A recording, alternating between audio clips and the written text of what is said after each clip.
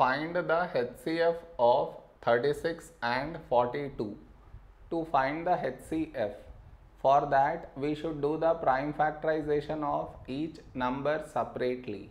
What I mean is 36 and 42.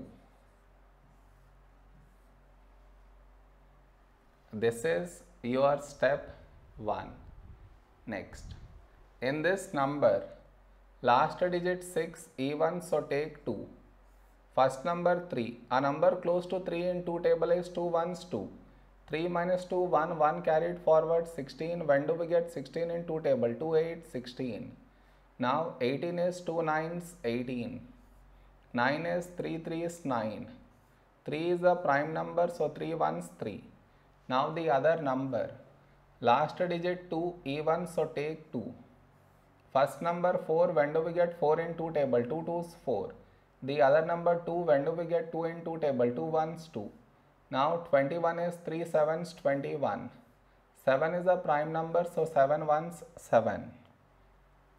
Therefore, our HCF is HCF is the product of the numbers which should be present in these two places that is here and also here.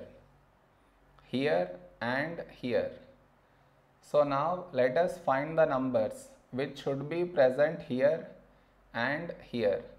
Starting with the number 2 do we have 2 here? Yes. So cut 2 right here. Next number 2 do we have 2 here? No. Next number 3 do we have 3 here? Yes.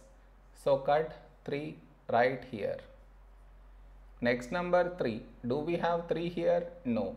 No more numbers have been left out.